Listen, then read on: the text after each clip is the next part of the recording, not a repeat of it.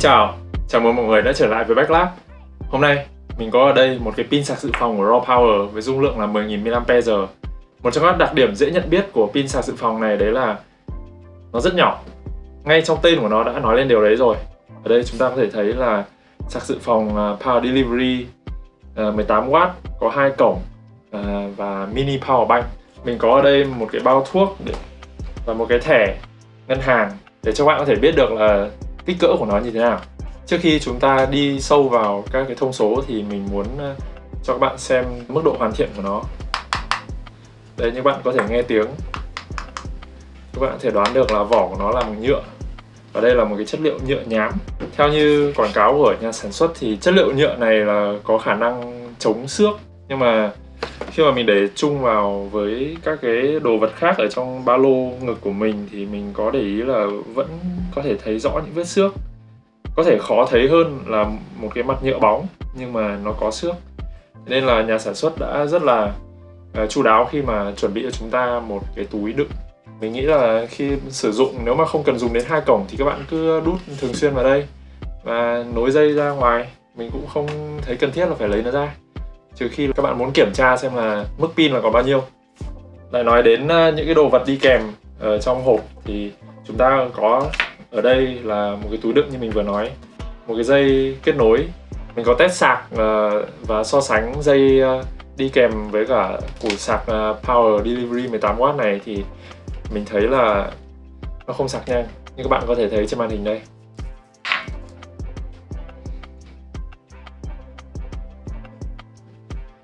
Ok, bây giờ chúng ta có thể điểm qua một vài thông số uh, ghi trên hộp.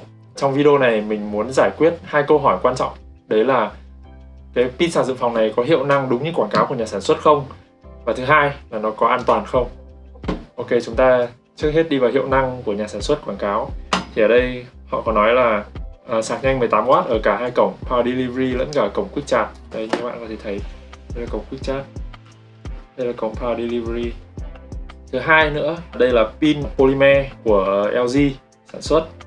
Còn cái tính năng này thì mình không có ô tô nên mình không không kiểm tra được cho các bạn. Nhưng mà nôm na là nó có khả năng ờ, kích ắc quy để có thể nổ máy ừ, trong trường hợp mà ắc quy ô tô bị hết. Tiếp theo ở thân hộp, các cái thông tin này mình không thể kiểm chứng được bởi vì họ không nói rõ là iPhone nào cũng như là điện thoại Android nào hay tablet nào ở đây chúng ta có thể thấy luôn là có sự so sánh giữa pin sạc dự phòng này và thẻ à, tín dụng. Trước khi mà điểm qua các cái tiêu chuẩn an toàn này thì mình muốn nói thêm về hiệu năng nữa là uh, khả năng sạc của cái pin sạc dự phòng này là 18W chúng ta sẽ sạc qua cổng Power Delivery này có thể sạc ở cả 5V, 9V và 12V nếu sạc đồng thời hai thiết bị qua hai cổng công suất sạc sẽ nhỏ hơn hoặc bằng 18W tổng cộng những thông số dưới này mình muốn giải thích thêm cho các bạn đấy là khi mà sạc ở 12V 1,5A thì cái dung lượng thực của pin này là 2500 mAh.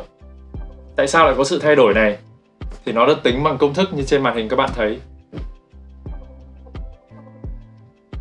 Và dung lượng thực là 9700 mAh tương ứng với 35,2 Wh. Và hộp này được thiết kế giống như quyển sách. Khi mở ra bên trong vẫn còn có các cái thông tin quảng cáo ví dụ như là pin sạc này sạc đầy trong 3 giờ và mình kiểm chứng thì chính xác, nó sạc đầy trong hơn 3 giờ. Đây là khả năng à, tương thích với rất nhiều thiết bị.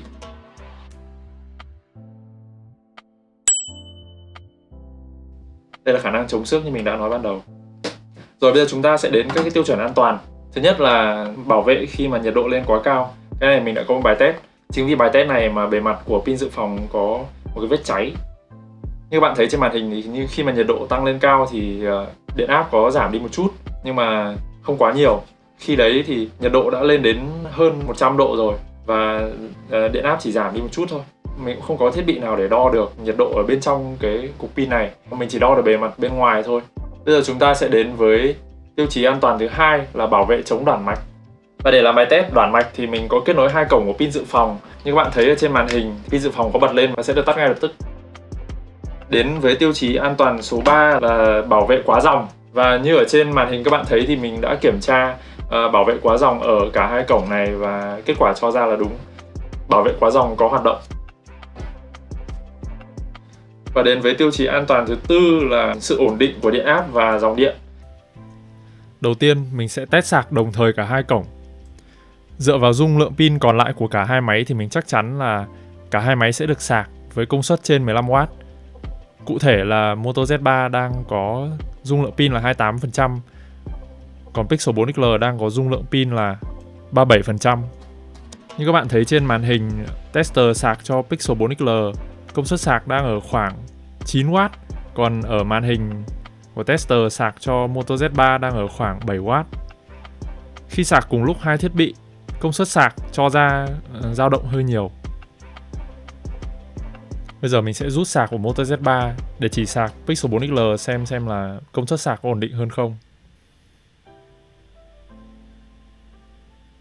Mất khoảng 20 giây để pin dự phòng nhận ra là đang sạc chỉ một thiết bị và chuyển sang chế độ ờ, sạc cho một thiết bị ở 9V. Công suất sạc bây giờ đang là 16,41W và rất ổn định. Bây giờ chuyển sang cắm sạc chỉ cho Moto Z3. Chỉ mất khoảng 5 giây để cổng Quick Charge nhận ra được hệ sạc và cho ra được công suất sạc là khoảng 14,4W và rất ổn định. Thêm vào đó, mình có kiểm tra thêm uh, xem là nếu mà dùng pin sạc dự phòng sạc cho điện thoại thì có tự ngắt sạc khi đầy pin không? Và câu trả lời cũng là có. Tuy nhiên, điều này chỉ đúng khi mà sạc qua cổng Quick Charge. Khi sạc qua cổng Quick Charge thì pin dự phòng sẽ tự ngắt sạc khi đầy, còn khi sạc qua cổng Power Delivery thì không. Trong quá trình làm bài test thì mình có làm rơi pin sạc dự phòng này từ độ cao khoảng 45 cm uh, từ mặt ghế nhựa xuống đất ở trong trạng thái uh, úp. Và nó đã xảy ra một vấn đề là khi mà mình bấm nút để kiểm tra pin thì nó không còn hoạt động nữa. Và đồng thời khi mình cắm sạc uh, pin sạc dự phòng không còn tự ngắt nữa mình sẽ gửi cái pin này đi bảo hành. Và kết quả mình sẽ cập nhật ở phần comment. Với số tiền bỏ ra là 550.000 đồng thì pin sạc dự phòng này có xứng đáng hay không? Các bạn hãy cho mình ý kiến ở dưới phần comment nhé à, nếu các bạn có yêu cầu mình làm bài test với pizza dự phòng nào khác thì à, các bạn cũng comment ở dưới nhé. Xin chào và hẹn gặp lại các bạn trong các video sau.